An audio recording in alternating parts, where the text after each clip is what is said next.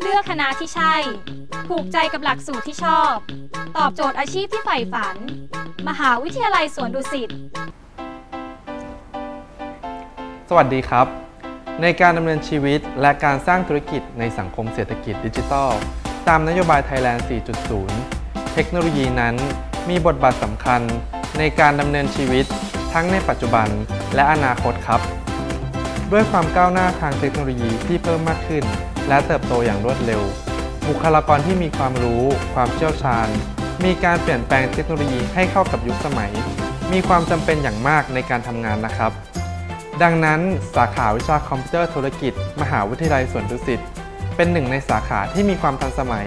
เป็นแหล่งเรียนรู้วิทยาการทางธุรกิจดิจิทัล ที่สามารถตอบโจทย์น้องๆได้อย่างแน่นอนครับ สาขาวิชานี้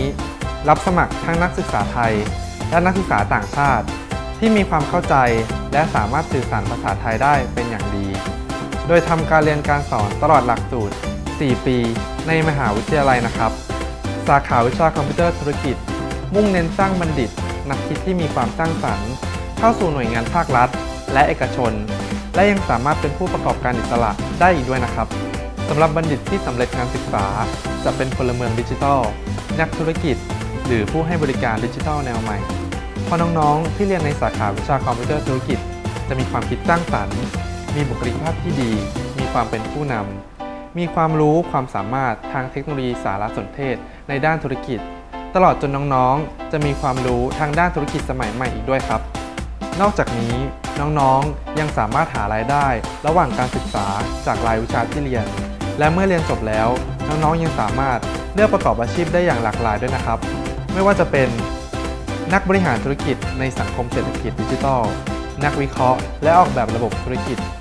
เจ้าหน้าที่ระบบเครือข่ายคอมพิวเตอร์ นักออกแบบเว็บไซต์ นักพัฒนาเว็บไซต์ นักออกแบบกราฟิก และสื่อมัลติมีเดีย เจ้าของธุรกิจออนไลน์ และผู้ดูแลโซเชียลมีเดีย ดังนั้นน้องๆที่สนใจในสาขาวิชานี้ สามารถคลิกเข้าไปดูข้อมูลเพิ่มเติมได้ที่เว็บไซต์ หรือโทรสอบถามข้อมูลได้ที่ 02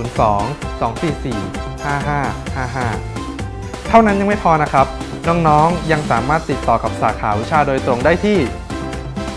แหล่งเรียนรู้ที่จุดประกายความคิด นักธุรกิจดิจิทัล